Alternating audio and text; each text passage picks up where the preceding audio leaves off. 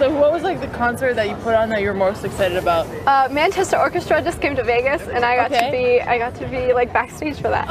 Awesome. yeah, it was I'm not familiar, but that sounds cool. Yes. It's like one of the top orchestras, right? Or No, no, it's a rock band. Oh. Hello there, orchestra in the name.